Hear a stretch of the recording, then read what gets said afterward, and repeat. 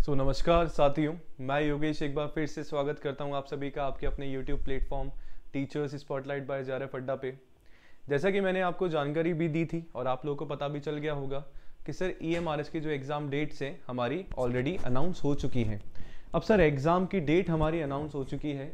मैं एक बार आपको वापस से बता देता हूँ कि सर हमारी जो एग्ज़ाम डेट है क्या होने वाली है? सर एग्ज़ाम डेट हमारी होने वाली है 16 sir 16 17 sixteen seventeen twenty third and twenty fourth दिसंबर को।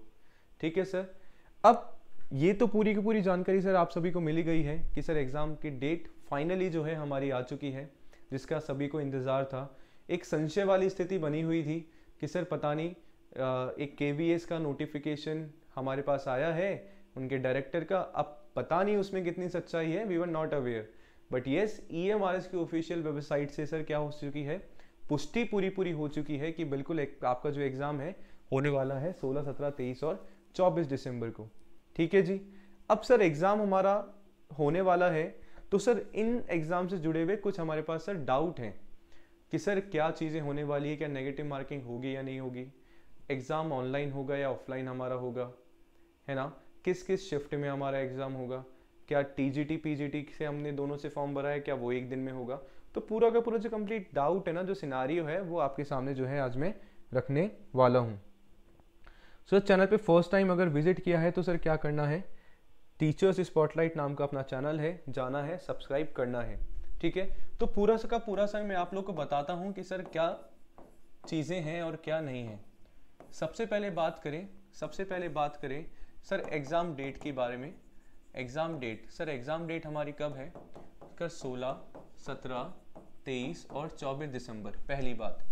सर, दूसरी बात करें कि सर एग्ज़ाम हमारा ऑनलाइन होगा या एग्ज़ाम हमारा ऑफलाइन होगा? कि सर, बिल्कुल जो है आपका एग्ज़ाम क्या होने वाला है? आपका एग्ज़ाम होने वाला है ऑफलाइन पूरा पूरा साफ़ साफ़ बोला गया है कि सर एग्ज़ाम जो है आपका ओ एम आर बेस्ड होगा। ओ एम आर शीट आपको प्रोवाइड करी जाएगी ऑफलाइन होगा। सर, ये भी आपको एक जानकारी दी गई है कि सर, चार दिन हमारा एग्ज़ाम है। और एक दिन में दो शिफ्ट हमारी चलने वाली है। सर, कितनी?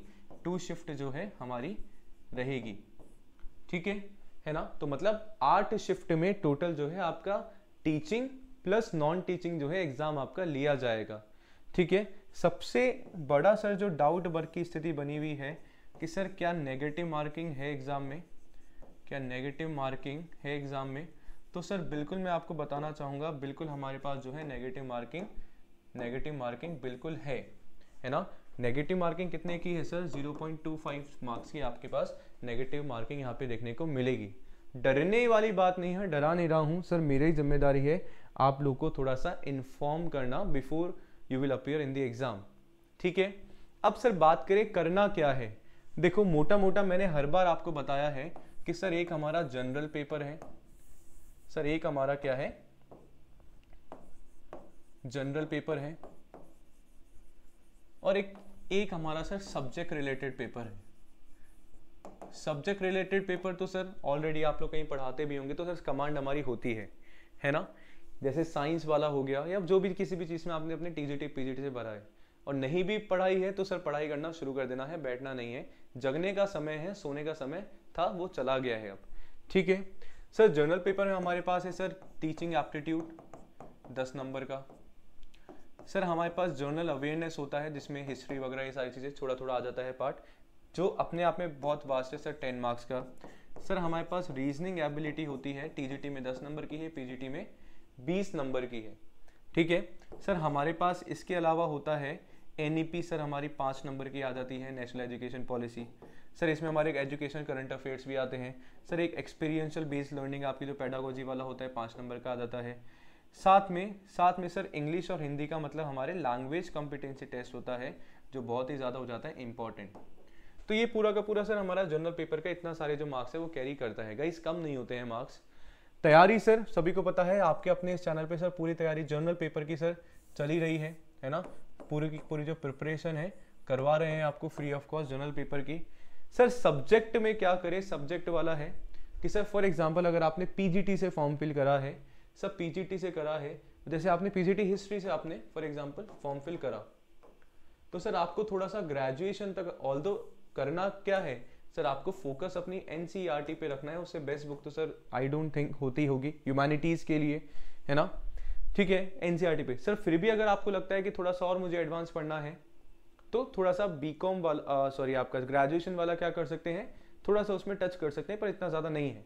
पूरा का पूरा पढ़ाना तो ऑब्वियसली आपको यही है। सर, ये तो हमें पढ़ाना भी नहीं है, जब हम पीजीटी बन जाएँगे। You have to teach this only sir करना क्या है? अब करें क्या? सर आपके जो भी प्रीवियस ईयर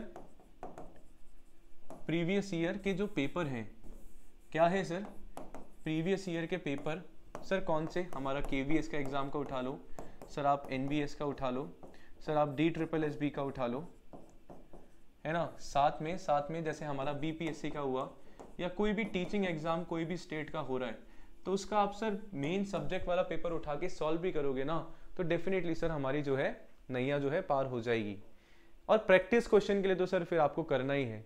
तो ये थोड़ा सा सिनारी है जो आपको देखना है, किन बातों का आपको ध्यान रखना है। डिप्रेशन में नहीं जाना है एंग्जाइटी अपने अंदर नहीं लेके आनी है एग्ज़ाम से पहले। और थोड़ा सा अगर अपन पढ़ेंगे ना तो सर डेफिनेटली होगा, वो दिन दूर नहीं जितनी जल्दी हमारा ई एम का एग्ज़ाम हो रहा है, वो तो अनफॉर्चुनेटली बीच में स्टे लग गया था। तो सर, आपका जो जनवरी, फरवरी ना, तब तक मतलब पूरे पूरे चांसेस है कि सर आपकी नौकरी लग भी जाए और सारी चीज़ें आपका हो भी जाए। ठीक है? तो आई होप आपको थोड़ा बहुत समझ में आया होगा, करना है। और सर, नहीं अगर अभी तक तैयारी करी है तो क्या, कहाँ जाओगे सर? टीचर्स स्पॉटलाइट नाम का अपना चैनल है, जाना है सब्सक्राइब करना है। पूरा जनरल अवेयरनेस का सर आपका कंटेंट आपको वहाँ पे मिल जाएगा। और जो टीचर्स स्पॉटलाइट सर अपना चैनल है ना आपके लिए बहुत अच्छा प्लान आउट कर रहा है। तीन चार दिन में सर आपको एक गुड न्यूज़ मिलने भी वाली है अपने चैनल से। ठीक है जी? तो ये छोटी सी चीज़ थी। आई होप आपको समझ में आया होगा, पसंद आया होगा। If you like the session तो कमेंट आपको करना है। कोई भी अगर आपका कोई डाउट होता है तो बिल्कुल I will try to give you answer तो मिलते हैं नेक्स्ट सेशन में। तब तक के लिए थैंक यू सो मच शुक्रिया। धन्यवाद।